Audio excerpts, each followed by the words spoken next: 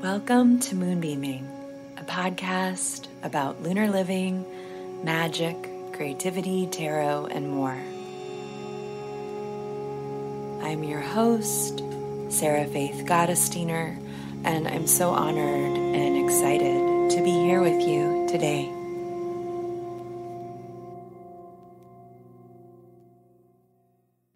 Hello. Happy February. How's it going? It's going, right? It's going. I've certainly have a lot going on that I wanted to share. Our studio does.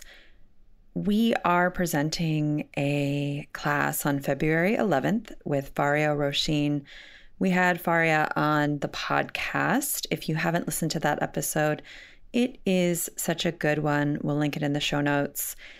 The workshop is called Writing Nature, and it's for those who want to connect their heart and mind through writing. You can sign up through the link in the show notes. It's going to be really, really good. I cannot wait to take it. It also coincides with Fariha's entry for February, for the February full moon in the Many Moons Planner. So that's what I'm loosely trying to do this year.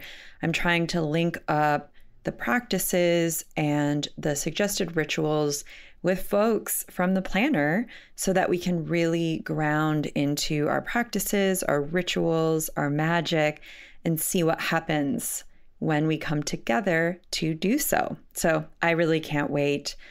The gathering with Blanca last month was incredible, and I know this one will be as well. Also, on February 13th, I am going to host a God spot meditation where we will connect our heart with our spirit or source or aliveness or whatever you want to call the thing that makes you feel most alive. It's going to be lovely. I have been doing versions of this meditation since this year has begun. It's been activating my heart really beautifully and reminding me of who I am, or shall I say, who my spirit is, or what my spirit is. And it's been just lovely. And I've facilitated it for a couple of friends, and they've really liked it too. So sign up also, you know where. Last, but certainly not least, I am so excited to announce that enrollment is open for a upcoming three week long class I'm facilitating alongside some wonderful folks in March. It's called Art Magic. It is a deep dive into how we create magic creatively, intuitively, and how we infuse art with our magical practices how we infuse magic with our creative practices and how that all reverberates into creating the life we want to live. It's going to be really powerful. It's for anyone who has felt blocked, creatively or otherwise, who is ready to intentionally create the next chapter in their lives through ritual, magic, creativity, and community. It's for those who want to have fun. We have a good time. We have a good time. I have a sense of humor, I promise. Uh, it's for folks who want to get messy and experiment and explore through making and also explore the intersections between creativity, spirituality, and what happens if we explore them through different lenses. What happens to our lives? What happens to our intentions? And what happens to our reality? We've got some really fantastic guest instructors as well that I'm so thrilled to be learning from. We have Lizzie Silva, Pam Grossman, and Edgar Fabian Frias. And I don't think I've been more excited for a series since, well, um, like embodying abundance, which it was in September, but you know, I'm excited for everything I create, which is the way I would like my life to be. Isn't that the way? we would like our lives to be. So, if this all sounds exciting to you as well, please join us. For those who want a payment plan, now is the time to inquire with our studio. And for any other questions, go to our website and email us.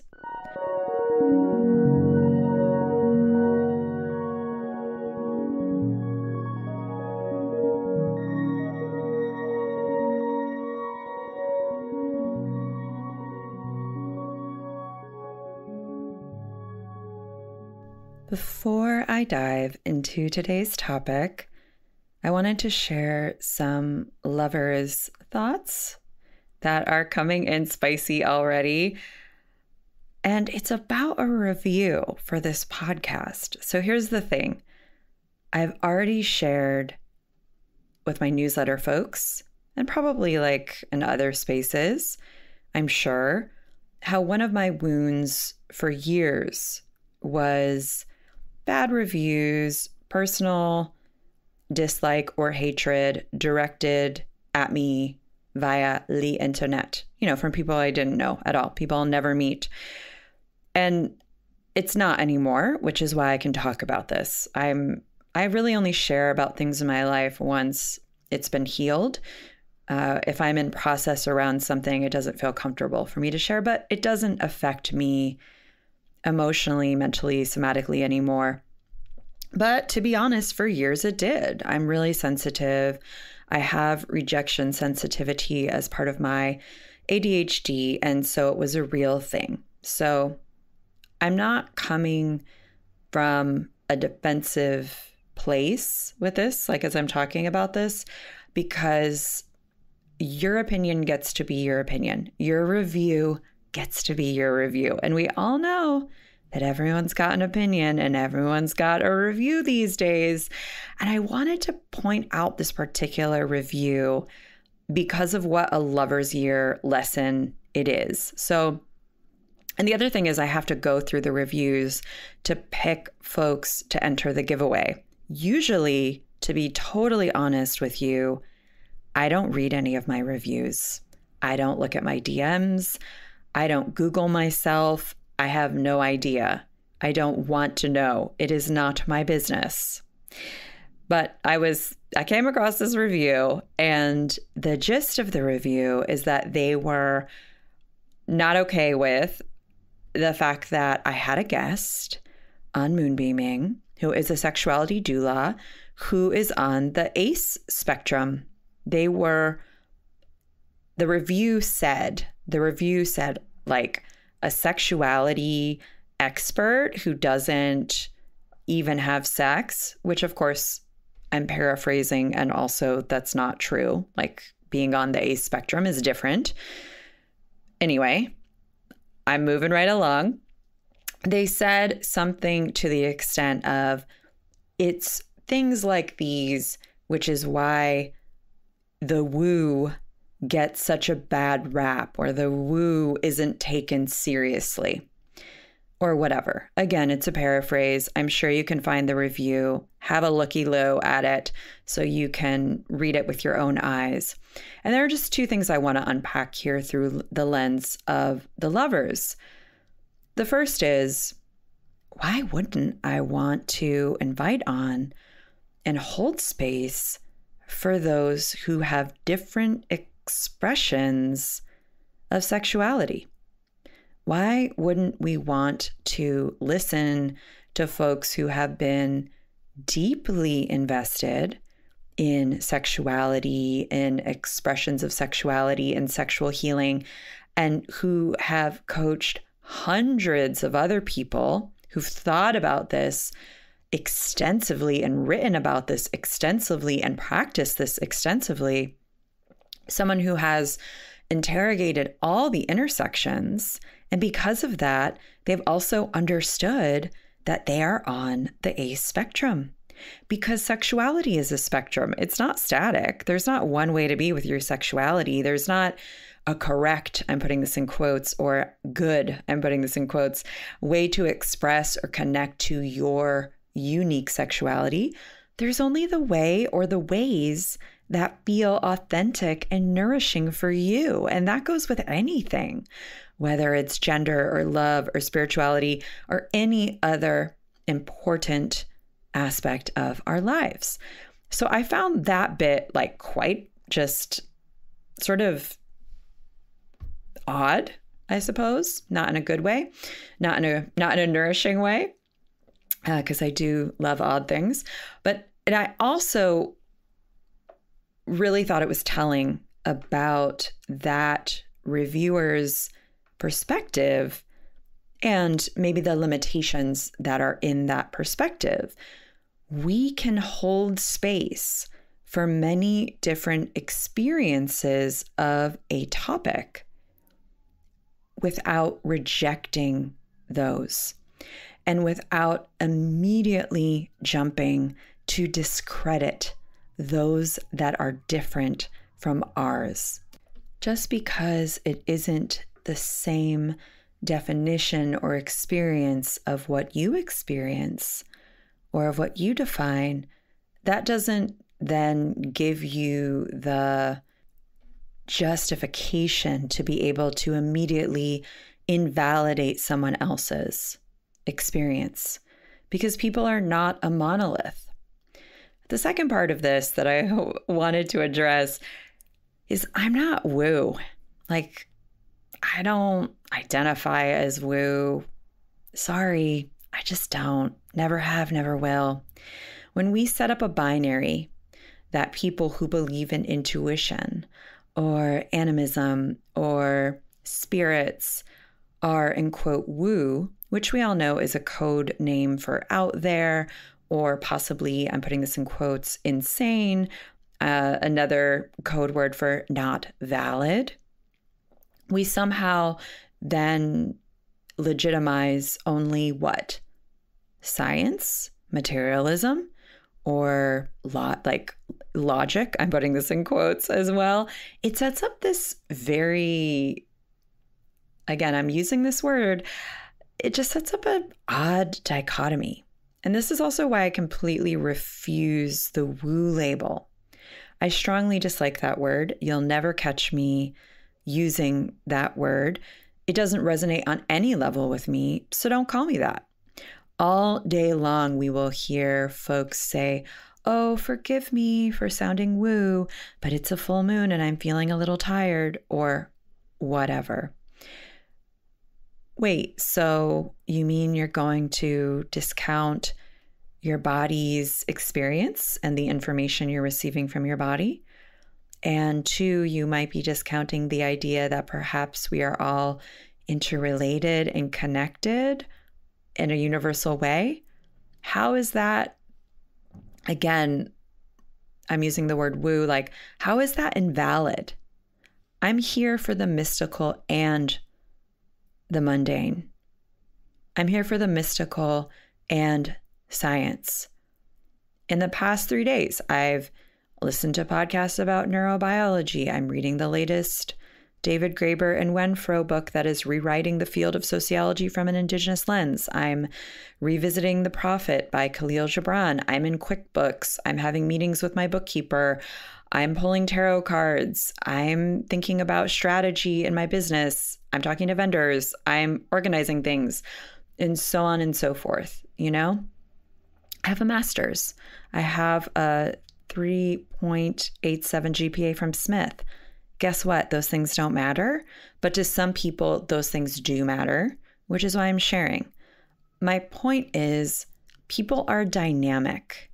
And a lot of what we've been told about what is valid or valuable relies on following orders in a way that serves a particular set of people, needing physical proof, needing proof that is valid in the eyes of a particular set of people, needing the approval of those who have a limited scope and perspective on the world, and also needing to prove, needing to prove that you're right, and then that makes someone else wrong, needing to prove that someone else is bad, in quotes, so then that makes you good and so on and so forth. So we already know what the lover's piece of all of this is. It can be both and.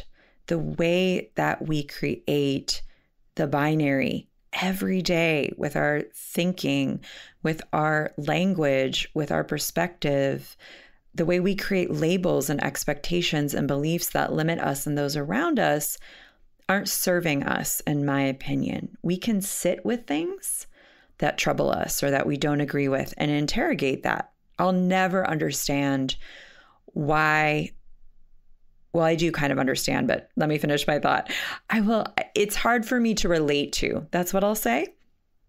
Folks who resort to completely discounting someone or something when they do not do or say everything that we want them to, everything that we would do, matching to a T.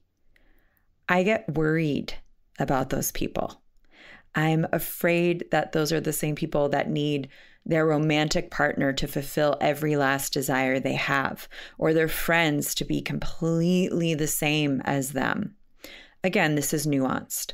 I'm not talking about being okay with transphobes or racist people or people who are actively causing harm to others. I need to always be clear about that. But I certainly do not agree with every last thing my favorite writers and thinkers share.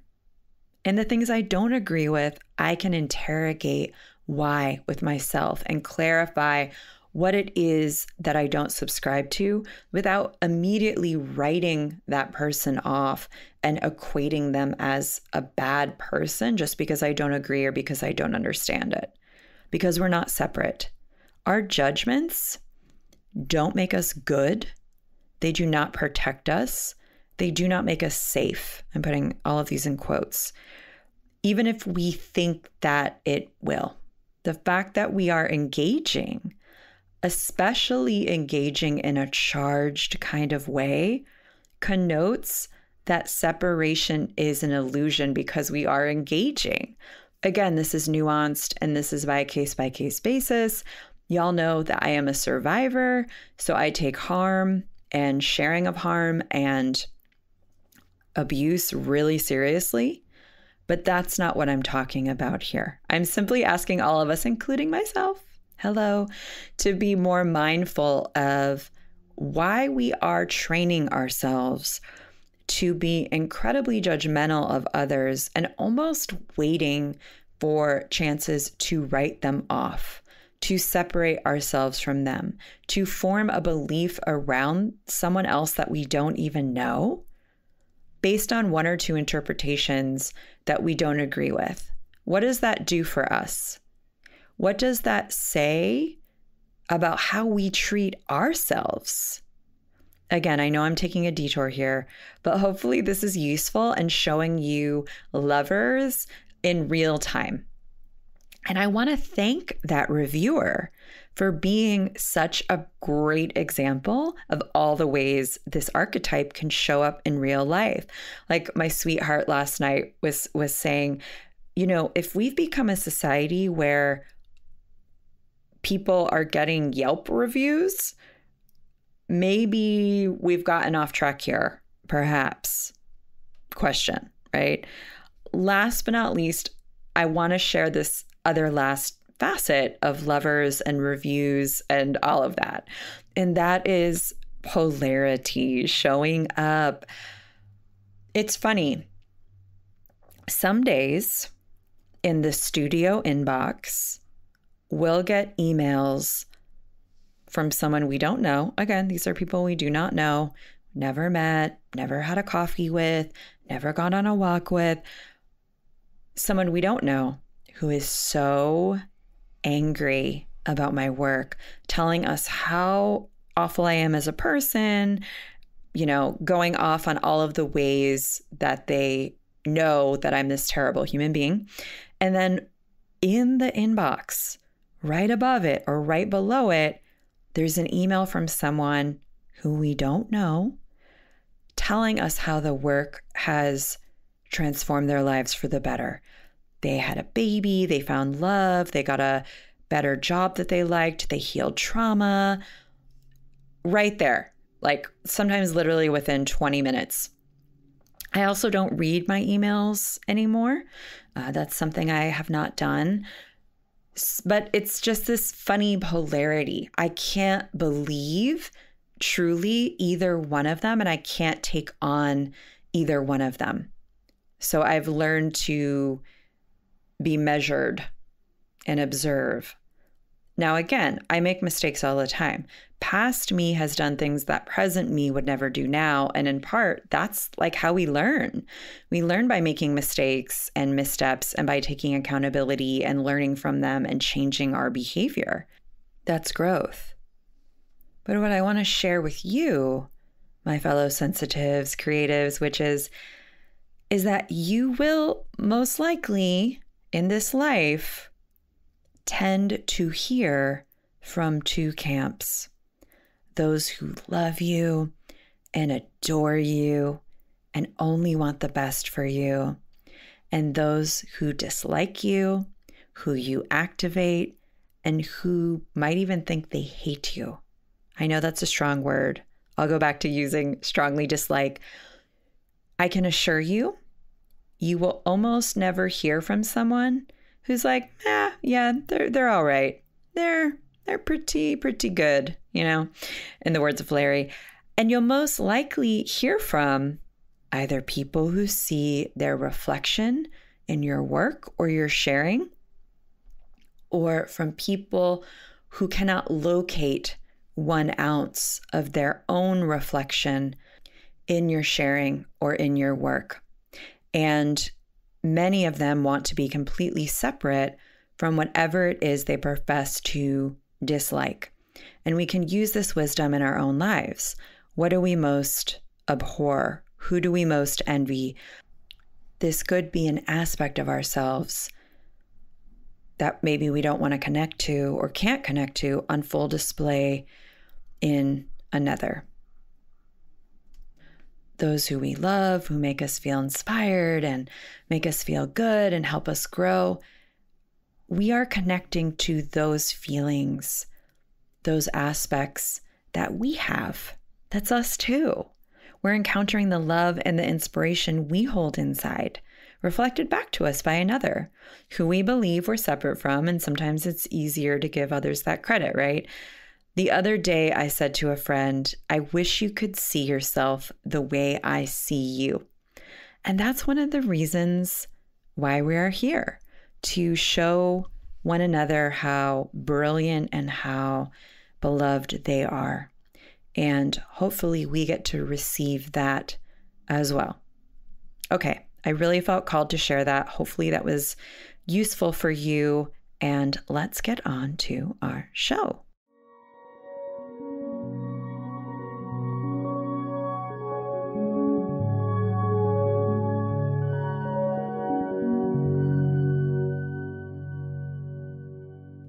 Today, we are talking about how creativity helps us make magic, how magic helps us creatively, how they are so intertwined, and how they can support us in our spiritual growth and in our own healing and the healing of others.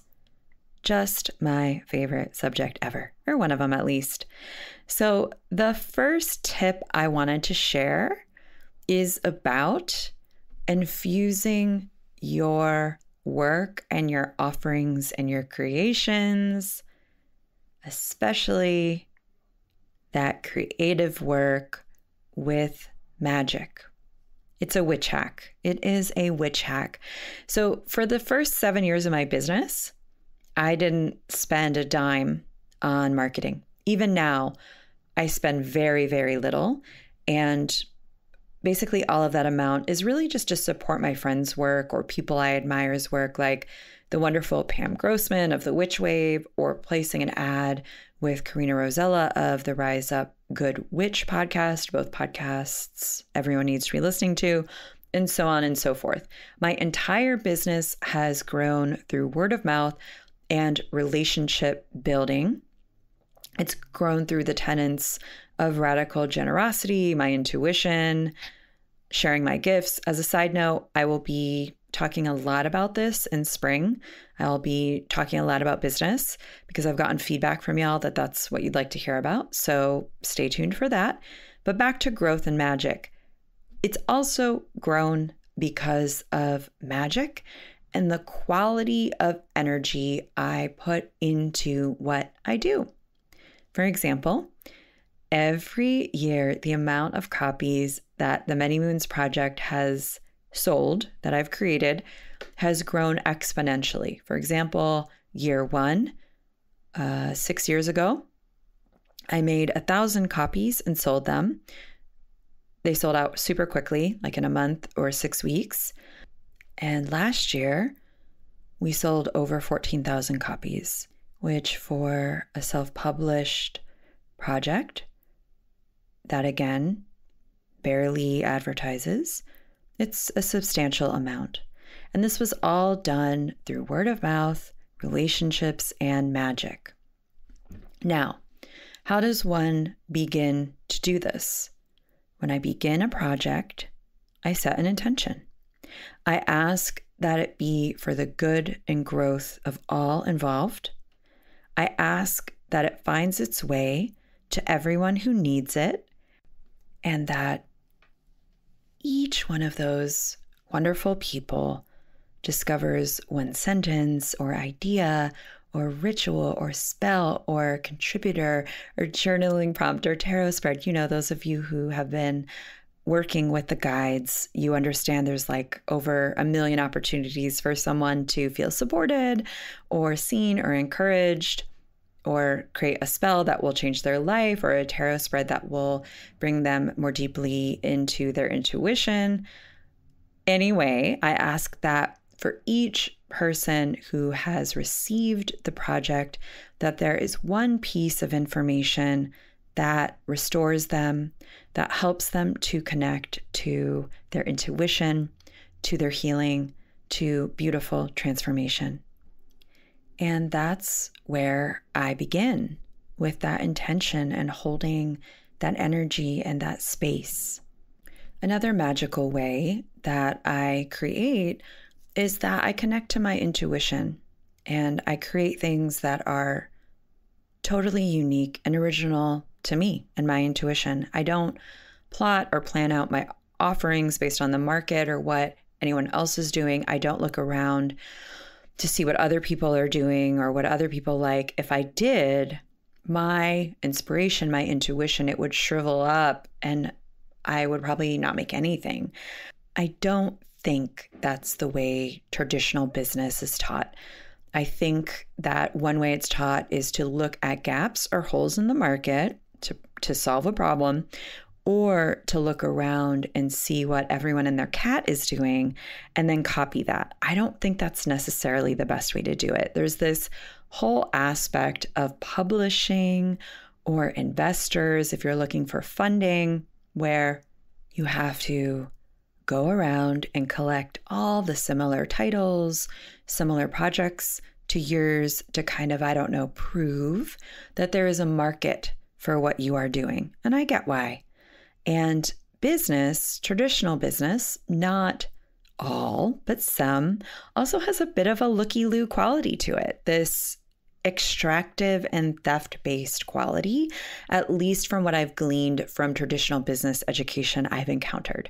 In some schools of thought or literal instances, like with Amazon, it's downright sharky, like people stealing other people's ideas and what they do to form their business because I guess they think it will work. And so many people wanting something the same is like a sure bet, especially people who will be investing in your work with a lot of money and time and energy might have to be convinced that there's a market for that, you know? When I created Many Moons, nothing like it existed. It was super unique. I created it based off my own practice, my own experiences that I invented and tried for about five years before putting out the project because I wanted to help other people. Now there are dozens of projects like this out there. It's not completely a coincidence. And also, I think this is the time we're in. I think people are waking up. I'm happy to inspire others. The world needs more lunar magic. Fun fact no one owns the moon. We need more and more folks talking about and sharing about how we can live in our own natural rhythms and our own natural cycles because it's healing. It helps us to connect to our intuition, our own unique genius, and because it's natural. Nature is the blueprint, my friends.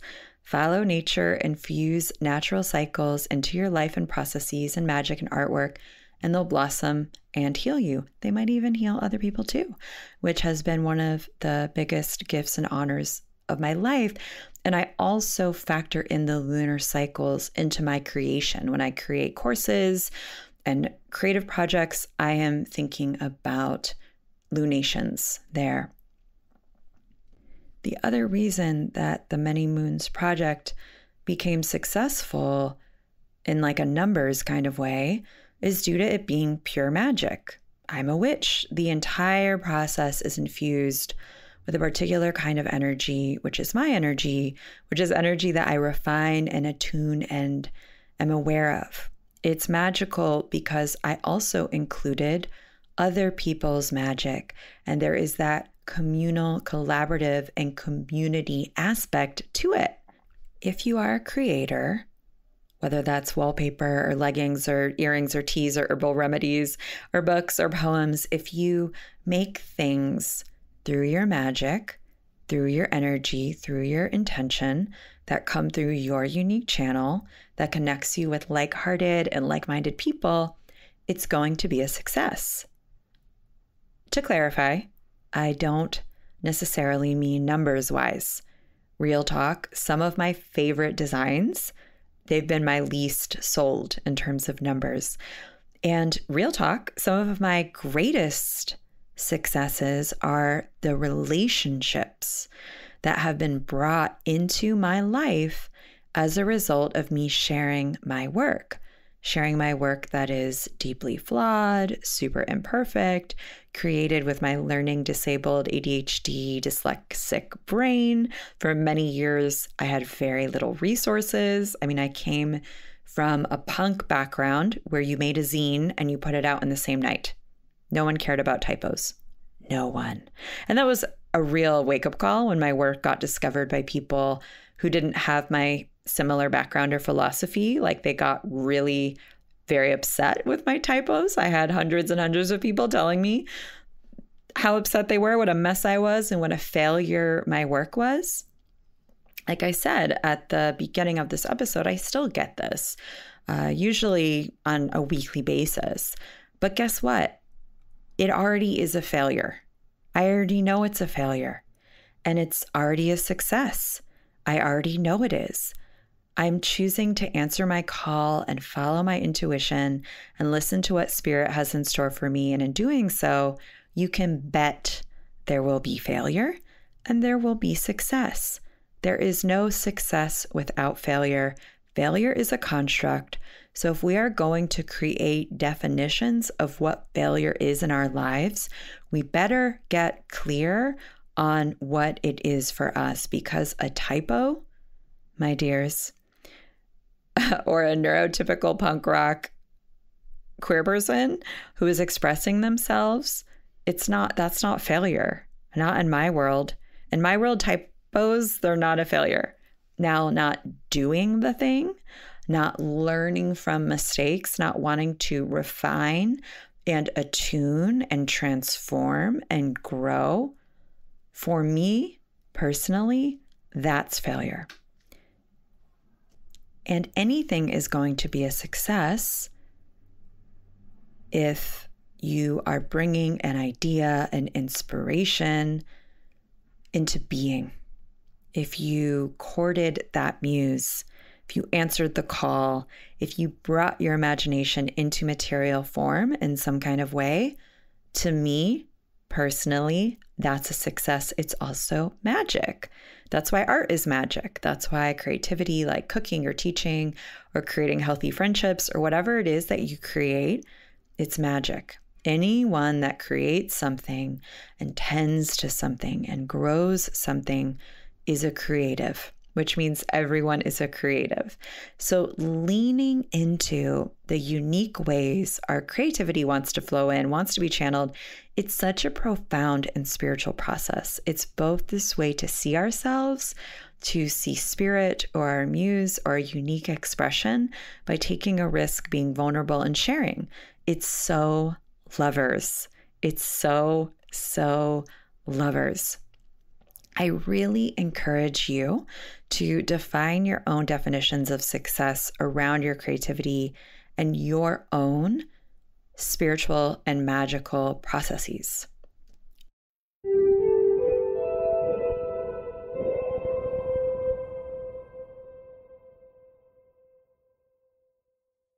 The next way that creativity is magical and healing is that it allows us to access healing timelines and timelines of healing.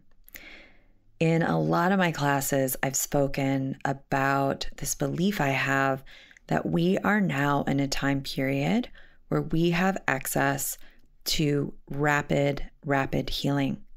We can heal much more quickly than generations before us have. It's an opportunity and it's also an honor and it's also a responsibility. In true air element fashion, which is what the lovers corresponds to, this is because there's so much more technology. There's so much more resource around helping us share. There are so many more people willing to share and to teach than ever before. And so that means more of us have access to it. And it's also a really small percentage, of course. Like access to the internet on the planet is still really a small amount. It's also a privilege, obviously. Healing, it takes time, resources, we need space, we need energy, we need safety. I would argue we even maybe need comfort in some cases to heal. Because of that, a lot of healing. It's been reserved for the most privileged, but that's also changing as well as the way we look at healing is changing. You know, you don't need to go on some fancy retreat to heal. You don't need a lot of material things to heal necessarily, right? The same with magic, right? You just need yourself. You need your breath, you need your intention, your imagination, and your energy. What magic and creativity both do is that they can create healing timelines for our past selves and our future selves. In so much of my work, I underscore the importance of developing an intimate and healthy relationship with your past self and your future self. You always want to be giving both of them gifts both of them attention, both of them care consistently. When you buy that extra package of toilet paper or say no to an obligation so you have more time in your schedule three weeks from now, you want to be saying, Thank you, past self, for thinking of me. Maybe try for once a day or a few times a week to give a gift to your future self whether that be your future self one week from now, your future self five years from now. You want to be making decisions, small and large, large and small, that care for that future version of you. Because, of course, that future version is you. It is who you are creating now in the present moment, which is all we have. Art and creativity is such a potent form of timeline healing magic precisely because a lot of the time when we create, we're channeling. So we're connecting to a state I call no time, which is all time, which is where we can create new timelines, heal old ones, and open up to possibilities and levels and layers of consciousness we might not always get to experience. You can do things for your inner teenager here. I made a couple of zines a really long time ago called Diary of a Teenage Witch, and it was meant to connect to that teenage self who was so confused and felt so misunderstood and who needed so much healing. And that project was me reaching out to that past teenager and saying, Hey, your rage is sacred. Your anger is sacred. I accept and I love you in those expressions, in those states, in your confusion, in your grumpiness, in your suffering. The Many Moons Project was and is also an offering to a past self, that self who was discovering magic, who needed to see different models and different versions of a magical or spiritual practice because I connected with so little of what I read or encountered, to be honest. So, the Many Moons Project was and is a lot of things, of course, but also there's information there that my younger self needed. Of course, my intention with the project, like I said, it's also to help others, resource others, inspire others, help others to manifest the life of their dreams. And it's done that. But I've also created it for me. So you can ask yourself, where can my creativity heal my past self? And of course, our creativity can also create timelines of healing for our future selves. What we're going to focus on in that upcoming art and magic class is infusing our creativity and our creative process with future self symbols and breadcrumbs on our path and symbology that is intended to create our next phase, our next transformation, our next up level version of ourselves, our next new vibrant timeline. We are going to be focusing on imagining our future through the lens of creative possibility, and we will be bringing that into form in our own unique ways through our own unique inspirations, gifts, talents, and intuition. This is absolutely where I'm focused now in my own life, having done a lot of past life healing. So that's primarily where we will be focusing now. So you can think to yourself what projects or expressions are going to be a gift to the future, not only for your future self, but to others 30 years from now, 10 generations from now. You can ask, how can I create an easier, more abundant, more magical path for myself and others through acts of creation? Maybe you start a garden. Maybe you join a community garden. It can be anything that will resource and tend to the future self that is emerging and that you are in the process of creating.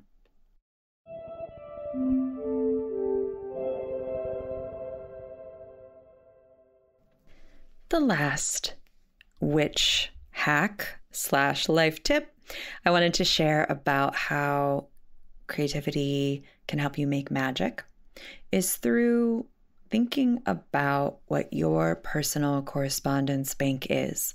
Once again, if you've taken a class with me, especially if it's a magical class, but really any class, you will be familiar with this idea. In spell books, in any kind of magical education, there will be assignments to what herbs, plants, colors, crystals correspond with for a particular use. You'll see with spells certain ingredients listed for certain kinds of spells because they correspond to what the intent of the spell is if you are working from a sympathetic magical slant, which many of us do. And a lot of these meanings have roots in old folkloric practices, to be sure. Witches use them because they work. And also, there are scientifically proven correlations with a lot of these tools and herbs. For example, garlic is often used in protection magic and to ward off vampires. And we know that garlic is antimicrobial, meaning it repels bacteria. So definitely work with correspondences that are proven and have this charge to them through hundreds of years of use. And also, I really encourage folks to create their own, whether that's born out of your intuition or paying attention to synchronicities. For example, one of my special correspondences is Raven. Ravens show up all the time in my life, especially in important moments. I feel a deep connection to them and its energy I feel at home in. So I collaborate with this correspondence and I also pay attention to this correspondence in my own life. On that theme, there's this idea of co regulation with our correspondences. I did a workshop once on co regulation with tarot cards like two or three years ago. It's this idea that you can call upon particular archetypes in the tarot for resourcing and for guidance. I'll share an example. Let's say you are seeking peace of mind. Maybe the tarot card that resonates with peace of mind for you is the Ace of Swords. Obviously, there are so many other cards one could pick. There's the Four of Swords, the Star, maybe the Queen of Swords. Any of these cards or others might resonate with peace of mind for you, but you pick the card that intuitively resonates with that energy and you meditate with that energy. You attune to those energies. You form a bond with that correspondence, with that archetype. Maybe you put it on your altar. Maybe it's the lock screen on your phone. Maybe you set a timer on your phone for three times a day to meditate with that energy. And that's the energy you practice. And so that correspondence is a symbol, it's a reminder, as well as an energetic container all its own that you can connect with and form a relationship with. You can also, like you hear me say all the time, you can ask yourself, what would the Ace of Swords do if you feel like you're in a non peace of mind situation or you're confused? You can center around that energy. The idea is derived from nervous system healing, where the ask is to co regulate with someone or something that calms your nervous system, whether it's a tree or a pet is always a good one, like a cat or a dog to cuddle with, or a good friend that you feel comfortable around. And co regulation, if practiced consistently, ends up resetting the nervous system. For some folks, it's going out in nature. For those of you who've done EMDR or even some guided meditations, often the practitioner will ask you to imagine a calm, beautiful place in nature that soothes your nervous system. And that's a form of grounding. So you can do that with correspondences. I will often co regulate with rose quartz. That's one of my current faves. And just take a piece of rose quartz. You can put it in the bath. You can meditate with it. You can connect to that energy. So you can ask yourself what colors or shapes most resonate with the energy I want to feel like, I want to invite in, I want to reset or reprogram myself with. What actions or activities align with these? How do I prioritize those? How do I make time in my life for those. I think it's so imperative to tune in and to choose your own correspondences because it's directly connected to your intuition, your interpretations, your ancestry, right? That's a big one, your needs, and your unique future and path. A correspondence is already an effective and charged energy They've existed for thousands of years, a lot of them.